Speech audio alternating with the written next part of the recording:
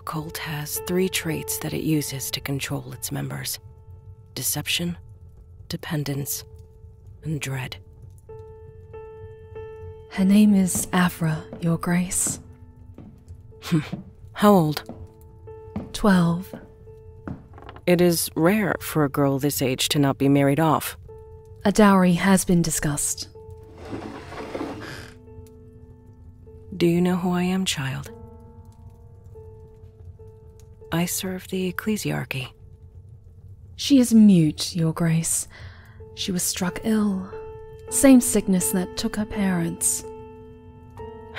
Bless their souls. Shaban, we've orbited each other for many years. Since we were children, Your Grace. I've never been that impressed by you. You've always struck me as uh, self serving. But this child, taking on a ward from the Schola Progenium, it is an impressive and selfless act. Perhaps I was wrong about you. Uh, thank you. That means a great deal. Your Grace, there are rumors that the Imperial Navy will be leaving orbit in a matter of days. Not rumors, truths. A fouled Xenos armada is nearing the subsector. The fleet is moving off world to mount a defense. Should we be concerned? No, Xenos are repellent, wicked creatures, but they are easily managed. We should be concerned with dealings here at home. Weak willed souls. Weak willed, Your Grace? Citizens will be tempted by the lure of the alien, enticed by false promises of peace, possessions, and liberties. Uh, absurd. What could they want that the faith doesn't give them? A better life, apparently. Their words. Shaban, you are a devout woman. I feel like I can trust you. I need an ally here to help keep the faith. I need someone who can keep disbelievers in check with me. Me? We could be the twin heads of Aquila, always watching, one forward, one back. Can you do that, Shaban? Will you join me? Hmm. You have my aid, Your Grace. The Emperor protects. The Emperor protects. We will suffer no aliens on this world, or anyone who would ally with them. I will die before I see that day.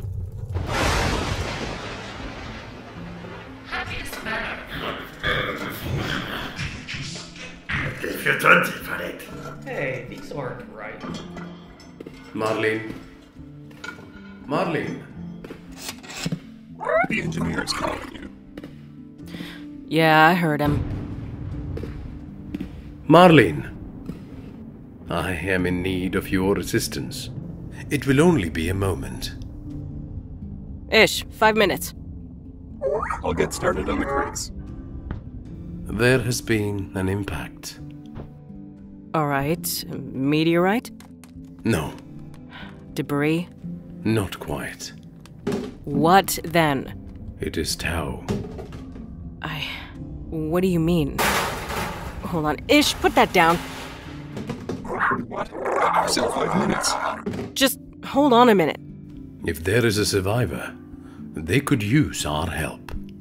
Moo, if it landed in the wastes, the storms are gonna wipe it out. Whoever or whatever fell down there, they're gone.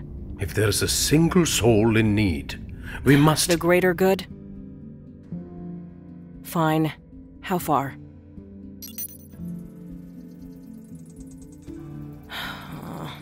You gonna let me take one of those hovers? The ion storms will be drawn to them. Uh, whoever is out there better be worth ten of us, Moo. Hey, Ish, Yes. grab your kit. We're going hunting.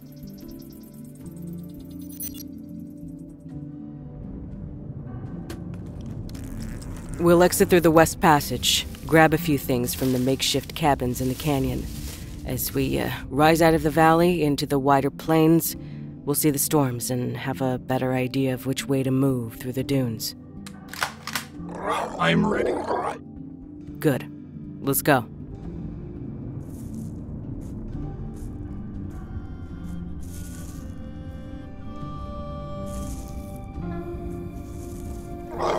Is it Imperium or Coalition? Moo said coalition. Might be good if they were human. Why would I want it to be human? You are alone. I'm not alone. I have you. Not the same. You need a mate. I don't need a mate. You have no brood. You want your genes to be passed on, no? I won't be having children anytime soon, ish. Have you ever wanted a family? Marlene,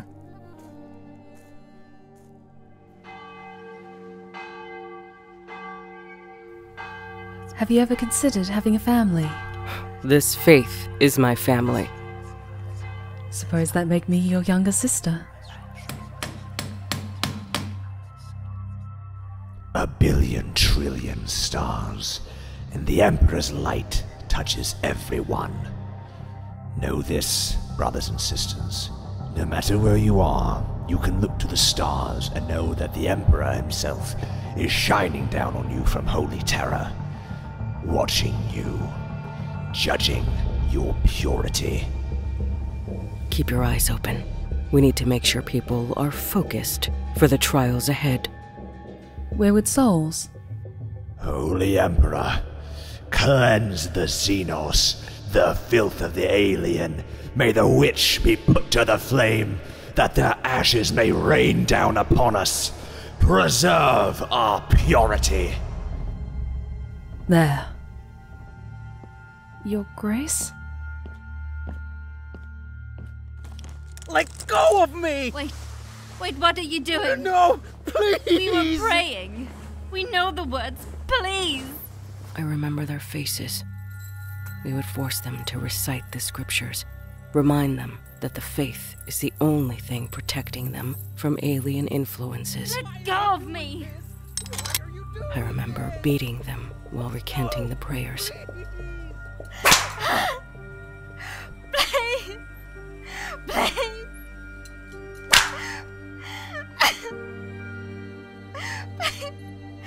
No! No! Your Grace? We couldn't spare the rod. No! Repeat after me.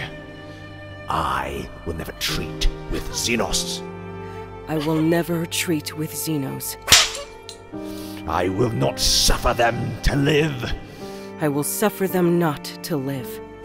I pledge to kill any I find. I pledge to kill any I find. In the Emperor's name, I pray. Amen.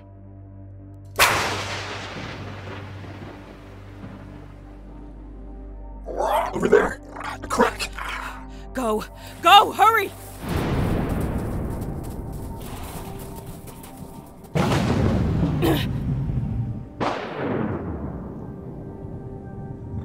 Close.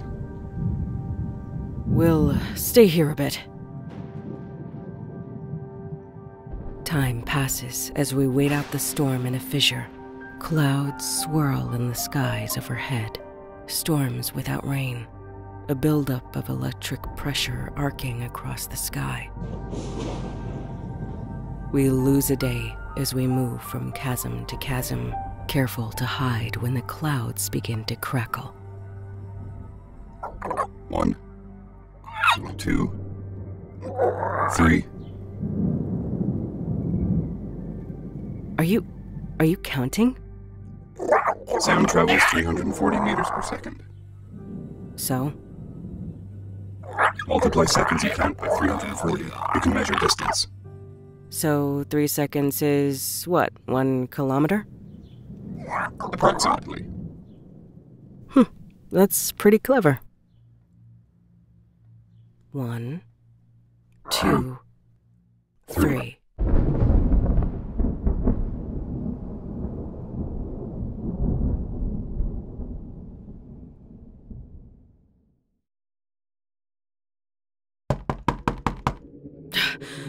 Coming!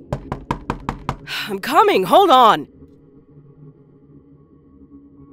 Your Grace, Shaban, what is it? It's the middle of the night. It happened. What happened? They've come. How long ago did they arrive? Not long. I was tutoring Afra when the guards alerted me that they were outside the gates. You'll need to double your ward's duties. Her faith will soon be tested. How many soldiers did they bring? None. What? They sent envoys. We arrived at the courtyard, and I remember the grisly tapestry there to greet us. Shaban, Their emissaries. Uh, watercast, they called themselves. I had to make a judgment call. I asked for the Emperor's guidance. I asked him what to do. He put you in my thoughts. I did what I thought would please you and commanded the guards. hung from a tree in the center of the courtyard, were twelve bodies, each dangling from their neck or wrists. For the first time in my life, I saw them in the flesh. After a lifetime of spewing hate, I struggled to even say the word. Xenos. Yes, A crowd gathered to witness the execution. In the shadow of the cathedrals, I saw their frailty, their surprising mortality. They looked so small, not the otherworldly beasts I expected. They looked young and helpless. they sought to bargain. How did they slip past the fleet? Perhaps some kind of stealth technology. I looked at the envoys. I remember having a private thought, one that I would dare not share with anyone. Disgusting, aren't they? The word was sadness. Your Grace? What did they ask for? Nothing. They asked for nothing. Human hands must never toil on alien soils. Never. The Emperor protects. The Emperor protects. Blue skinned with hooves and red eyes. They should have been demons from a storybook. Instead, I saw a dozen horrified expressions pained, sad, and shocked. They never expected such cruelty. Can you fly up to that hill and take a look? One second. I'll try the helmet's rangefinder again.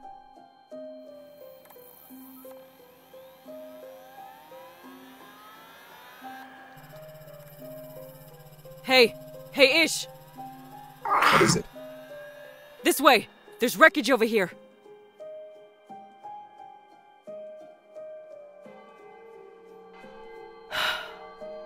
It's happening faster now. Report says that eight more families tried to escape last night. This is the crisis you prepared us for. A crisis of faith. Why would they be fleeing Shaban? What haven't we given them that they couldn't desire? The faith offers purpose, belonging. Shaban, what is it? Your countenance is strange. Perhaps we need a more dramatic reminder of why they need us. What do you mean? Have you noticed that most of the deserters are parents? I have. They want somewhere to raise their children. They need to be reminded why they need us. Did you have something in mind? I do. Come and see.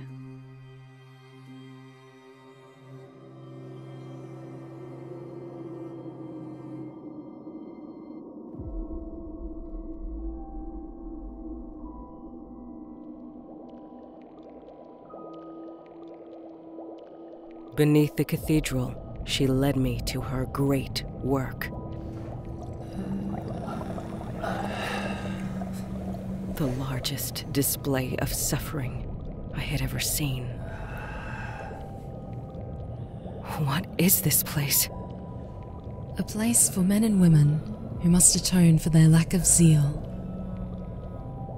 All of these people? I ordered for them to be reprimanded. They were. Now they're helping resolve the crisis in a more meaningful and permanent way. Men and women adorned with optic neural connectors, chemical injectors implanted into their skulls and spines, pheromone drills up their nostrils, and piping curled beneath blankets and snaking into their thighs and intimates. I do not remember rebuking this many. Your modesty is commendable. It is reasonable to struggle, to suffer, and even die for a society that justly proclaims itself the bulwark against the end times. But all too soon, thoughts turn to the self. The problem is greed, selfish things, legacy, joy. This, this is an antidote to temptation. I have manufactured despair, your grace. A burden for mankind that will keep them loyal. It's a venom? A virus. Contemplate. A world emptied of fertility. The aliens come and they bring a plague of sterilization on us. For without children, they will blame the Xenos for robbing them of their futures.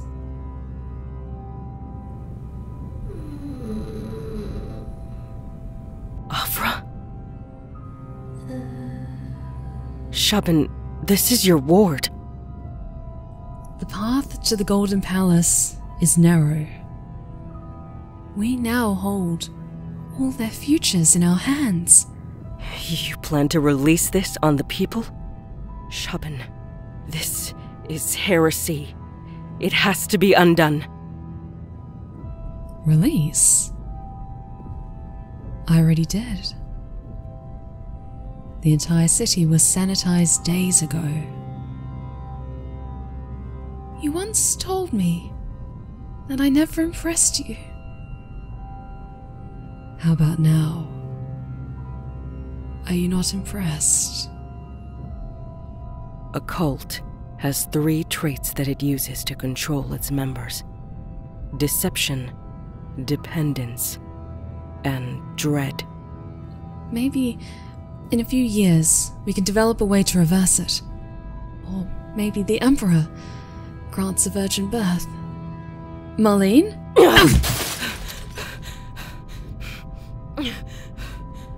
you, you broke my nose.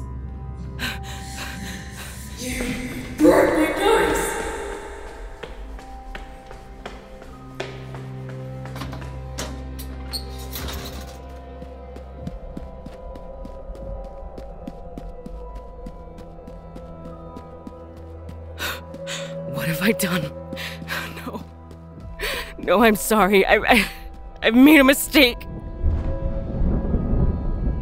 I have to go back. I have to go back. I kept running the moment over in my head, telling myself, I've made a terrible mistake. What have I done? Why did I? No. No, I have to go back. But what they'll do to me. It was a mistake, a, lapse in judgment. They didn't matter. None of them mattered. He is all that matters. His will. I build up the resolve to go back, to face the consequences. They'll forgive me. I have always been a just and loyal servant. I began to walk back, racked with doubt and despair. I couldn't feel his eyes. In that moment, a sign was given. A single bolt blocking my path to the city.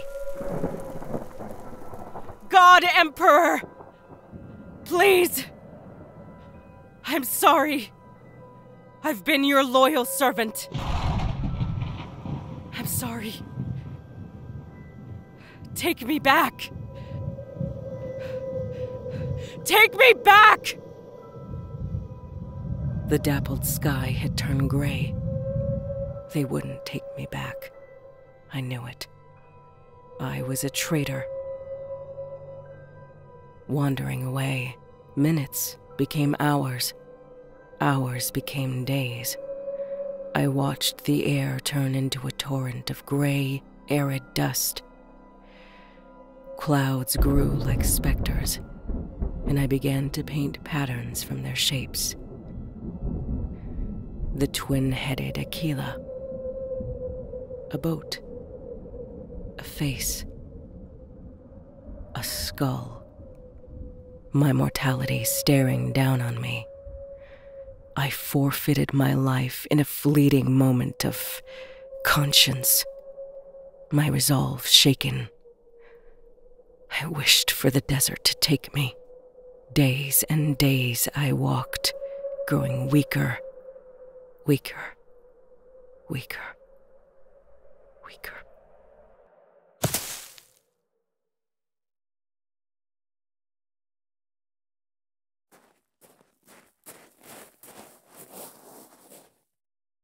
Hello. You. I am Fiuwi Velkan Sankwal. My namesake means life observer. It also means. Yeah! Wait! Xenos filth! I'm not going to hurt. Die! Cease this! Loose skinned swine! You appear weak. I'm. I'm not weak! Yeah! Cease, Yeah! Stop dodging me! Please. I'll kill you! I'll kill you! I'm not. weak! What have I done? Oh god! What have I done?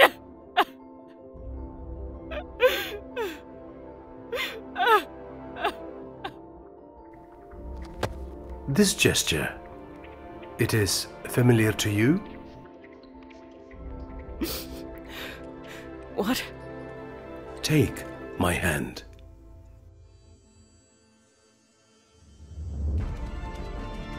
Contact! It's a battle suit. Over in that crater. A battlesuit? Life supports Sim Simulants. It's a towel. A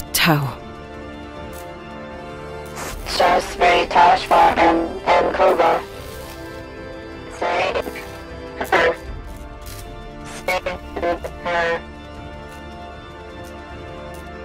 I will carry its corpse. She's not dead. Not yet. We have to take her back. She's badly injured. She won't make it. Maybe, But this desert has a way of saving lost things.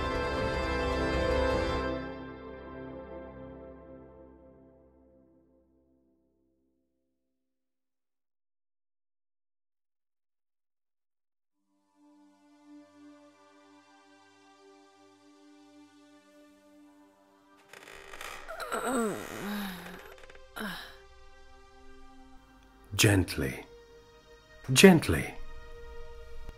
Where? Where am I? I am Fioi Velkan Sangwal. My namesake means life observer. We saw you fall from the sky. Where am I? You are at a coalition outpost. You were injured in the crash. I am Shashvretashvar M'Cova. What is your prime name, Imkova? I do not know you well enough. We did save your life. Hmm. Ervi. Irvi. A curious namesake. Fluttershy. Unbreakable. I cannot see out of my right eye. It was badly damaged in the crash. The shrapnel of your battlesuit wounded you gravely. You are Earth caste? Yes. I need to contact my Kawi in orbit. There was an attack. I need to join them. You crashed several days ago. If there was a battle, it is long over. Days? I am not Water caste. My words will be far from soothing. Earth caste can be warm, but rough. I am sorry. Enter. Resign yourself to getting comfortable, Irvi. We will care for you. You are among friends. I should introduce you to your rescuers.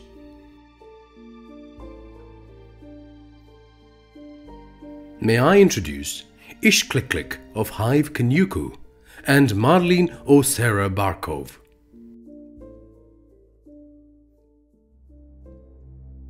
Her one good eye narrows and rises to meet my face. The nasal slit on her forehead flares. She witnesses my skin, my features, everything that makes me human. Scarlet flushes through her, and her teeth bare, clenched and grinding with hate. Gue'la! Wait! Murderer! Shameless! Stop! Assassin! She is Gue'vesa! Gue'vesa!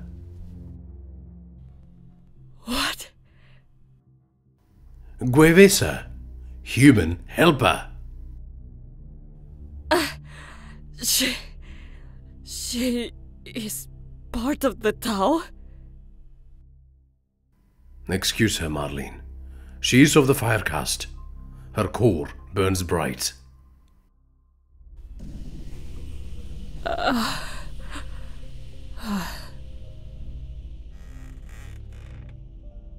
It was an honor, Irvi. I have lost my cadre. I have lost everything. A Shashre without a Koi. All because of you.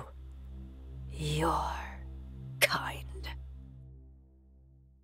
We will give you some time. Come. As we leave the room, I steal one look back at her. Her body rattles with an emotion born of loss. We're not so different. Not so different at all.